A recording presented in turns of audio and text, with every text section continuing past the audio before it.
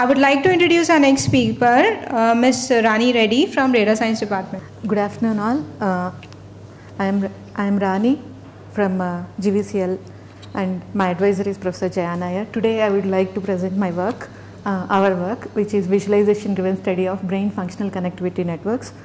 Uh, so visual analytics include a human in loop uh, for driving data analysis as it is said in uh, Daniel's uh, work of visual analytics and scope of challenges. Uh, visual analytics would allow uh, for better inferences by refining the models or like changing the hypothesis. Uh, so a feedback loop is necessary for exploratory data analysis.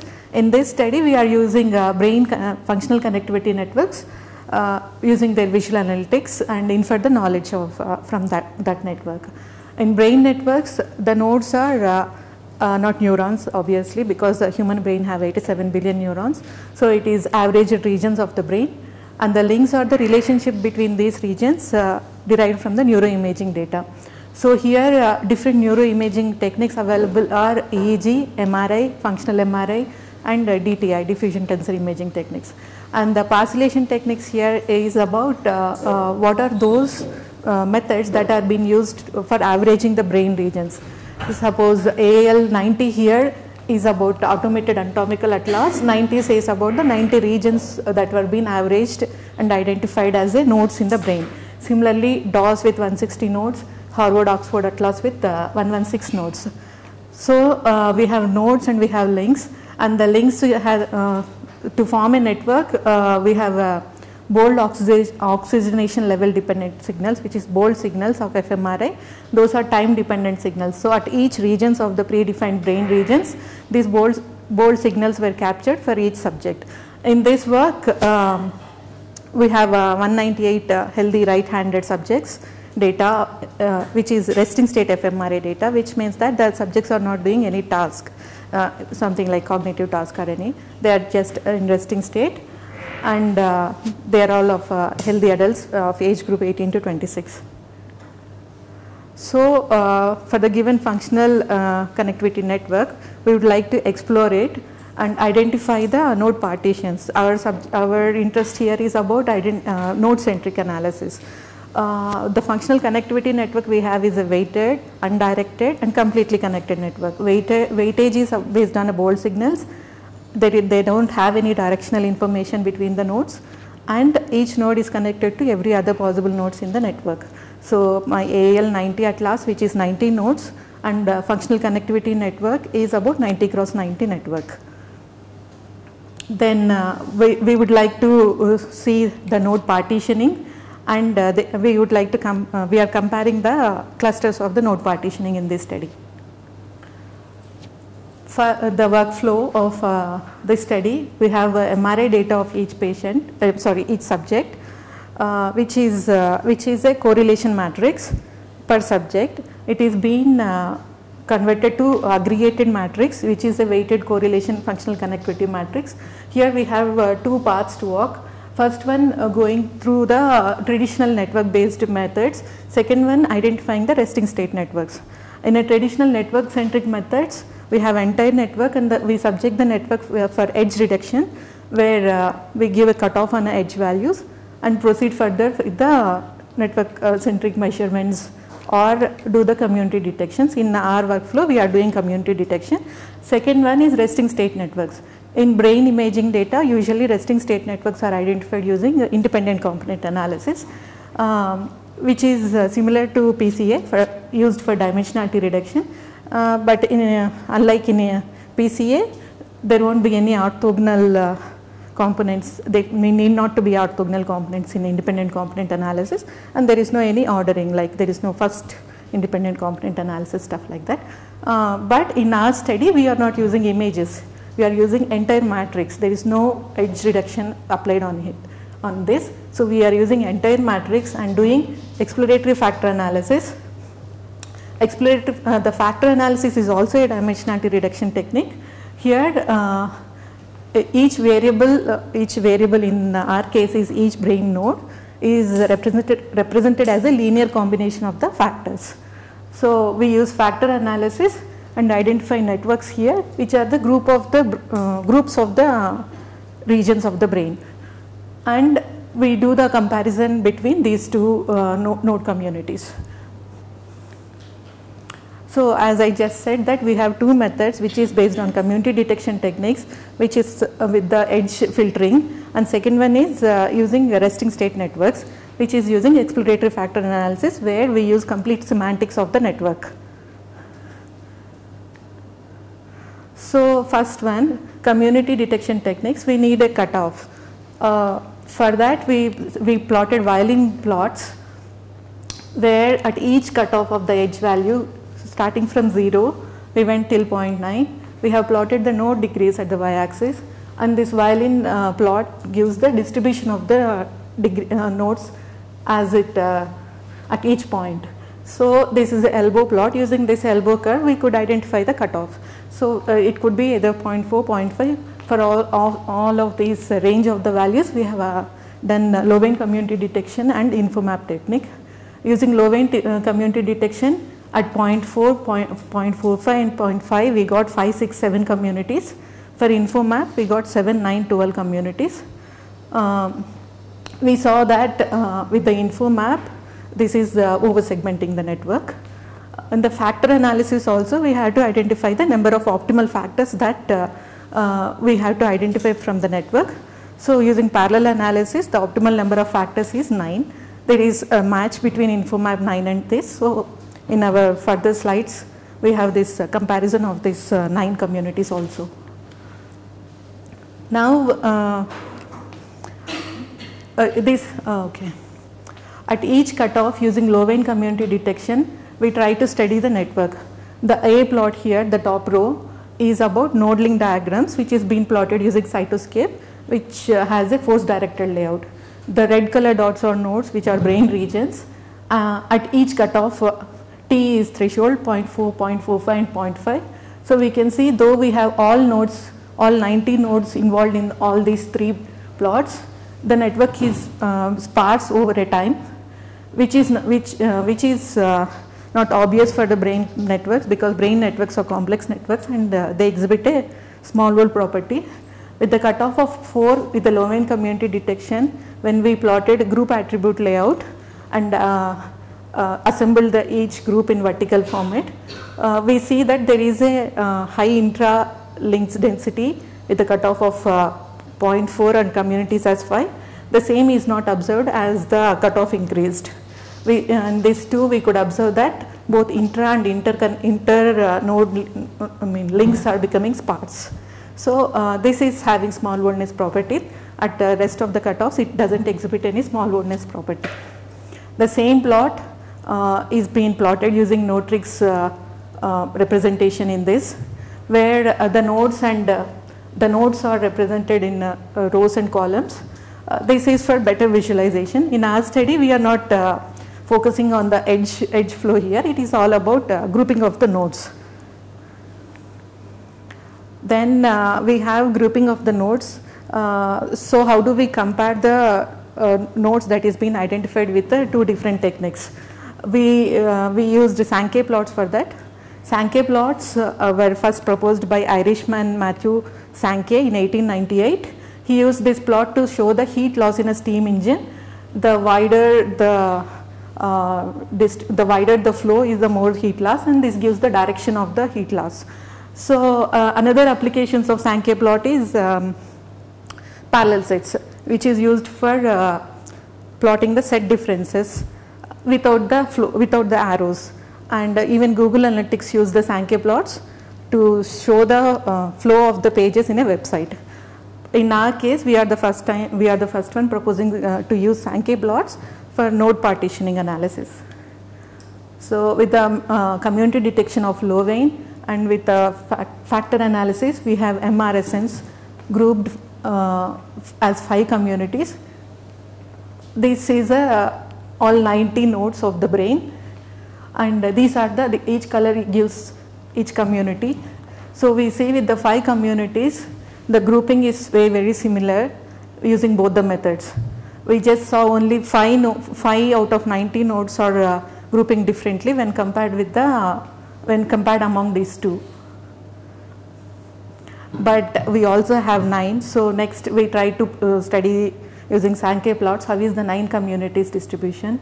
Uh, so the leftmost bar here is about uh, nine communities uh, that is being derived using InfoMap. We can clearly see that uh, 7, 8 and 9 are with very less number of node regions which, which and there is no common grouping of the nodes between MRSN 9 communities and InfoMap of 9 communities. Uh, but the interesting uh, feature here we could identify is the hierarchy the from MRSN of 9 to 5 there is a club of communities quite clearly happening. So we, we started with the consensus of node partitioning of uh, 5 communities of uh, using method MCD of Louvain and MRSN. Then uh, for the quantitative analysis we measured the modularity uh, of uh, network at thresholded and as well as unthresholded. Here the positive means a network without any threshold applied on it. On a thresholded is uh, 0.4, 0.4, 0.45 and 0.5 cutoff given to the network. Uh, so uh, modularity measure gives uh, density between intra communities for to the inter community links uh, and mixing parameter is a complementary of the embeddedness. It is a ratio of sum of edge weights of intra communities to the sum of edge weights of inter and intra communities. So modularity is a range of minus 1 to 1. The more the um, value, the more the better modularity network has and the lesser the mixing parameter, the lesser the, uh, I mean the better the parameter it is. We see with the thresholded value of MCD, it showed better modularity and it is expected because uh, method community detection always works with the threshold value. And uh, when we go with the mixing parameter of the whole network, uh, MRSN showed the lesser value which is also uh, as expected a better measure. Then we, we, we could understand the symmetry between the nodes using the plot of a BrainNet viewer which is a MATLAB tool. Here we could see uh, with the five communities, there is a symmetry uh, obtained with the both the methods. That is uh, nodes that belongs to left hemisphere is also identified in the same node community. Uh, I mean right hemisphere is also identified in the same community. Uh, so we see these, these nodes are left and right hemisphere nodes. They have this bilateral symmetry obtained with the both community detections and this is the axial projection of the same uh, sagittal and coronal projection. Then uh, in, a day, in David Meunier work, uh, he, he had gave uh, five highest level hierarchy, hierarchies of a resting state functional brain network which is medial, occipital, central, parietal and frontal temporal regions. Our uh, classification also showed this almost same results and uh, Christina's uh, work about resting state brain networks showed uh, nine communities uh, which are all of these where primary visual component is further being showed as the three other components. Uh, this is satisfied with our function uh, RSN networks. so there is a hierarchy when we used MRSN from 5, 6, 7, 9 we see that the 5 communities to 6 the same community which is a sensory auditory region has been divided into sensory motor region and auditory motor region. So this thing, the, this one region in, uh, when I am seeing at the higher level has been one uh, community, it is being divided into two communities here and the same, same situation is, uh, same scenario is shown with the uh, 6 to 7 and 7 to 9. So it's not about 5, 6, 7 or 9 communities, it is about uh, highest level uh, communities identification with different methods. In our case, we could get the consensus, consensus of uh, highest uh, level of communities as 5 using different uh, community detection techniques and RSNs. Uh, this is about uh, as we have different community detection methods and different number of communities. We try to study all 90 nodes and their persistence of community behavior uh, the horizontal line here shows all 19 no, uh, the dots represent the brain regions nodes and the vertical uh, uh line here is about different community detection techniques MCD 567 and MRSN 567. So we can see here uh, MR, MRSN 5 community 1, 2, 3, 4, 5. The nodes, how they are lying on each community, we can see. Uh, after we had uh, this, this analysis, we had observed that irrespective of the community detection techniques and uh, number of communities, few nodes of the brains uh, are uh, always persisting to be uh, in a similar grouping structure. So we are still trying to validate this study, I mean how, why and how this is happening because out of 90, 73 nodes have been observed being persistent irrespective of whatever the technique we used. And uh, as I said, we use visual analytics for the study. First, for preliminary, preliminary analysis of node, node degree distribution and edge weights in, in the functional connectivity network, we used histogram and violin plots. Analysis histogram is about uh, the edge weights distribution of the whole uh, completely connected network. Then uh, analysis for optimal threshold of MCD, we use node links and group attribute layout. Group attribute layout is, that is uh, vertically laid communities. Then uh, communities determined using MCD, we used BrainNet viewer, which is a uh, which is uh, which is uh, which is the plot I showed for symmetry, and a NodeTrix and group attribute layout. Then outcomes, the comparison between the node node partitions, we used BrainNet viewer and Sankey plots. In future, we would uh, like to extend this work with the multi-layers. Right now, we have functional network layer. We wanted it to extend to structural network layer and also effective network layer. Structural network layer is uh, like uh, functional network layer is from resting state MRI. This is from uh, diffusion MRI signals. This is about this is based on axonal projections in the brain, uh, and it it captures the water molecule flow in the brain. So together, these two uh, combination effective network would be derived and uh, we wanted to conduct similar, uh, similar studies on cognitive tasks. This is on a resting state, so we wanted to do it with the cognitive task.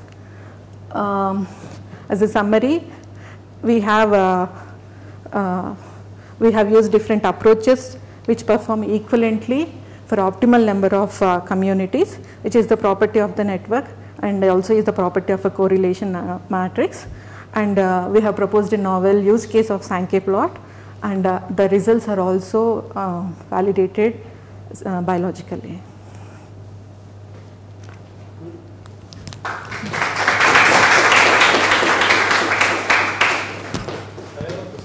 Yes. Uh, when you look at this uh, starting point, yes, your correlation matrix, right? Yeah.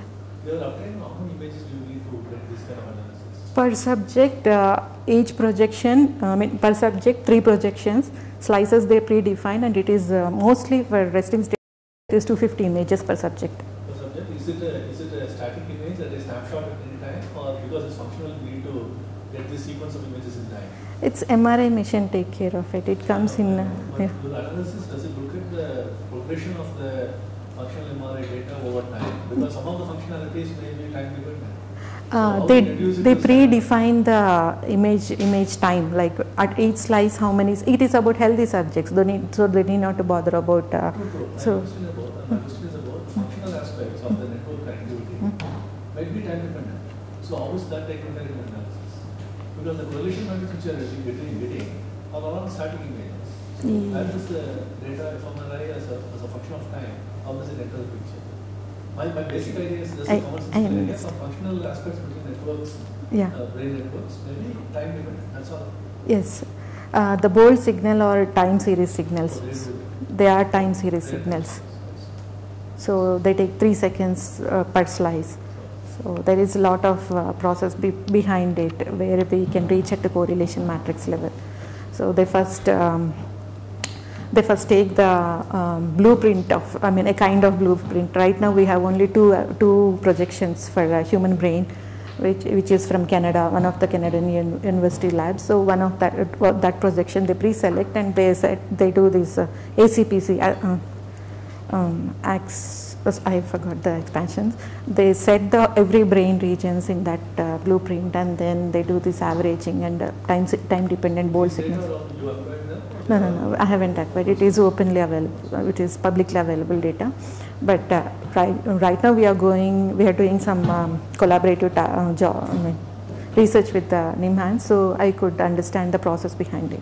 Just a second question. Yes. Uh, when you talk about uh, the rest state, yes. Uh, which means there is no stimulus at. No. And you said the future work is the cognitive Yes, thing. yes. Where the stimulus will be there. Yeah. Does the fMRI change substantially between the rest state and the? Obvious- Obvious. obvious. Right.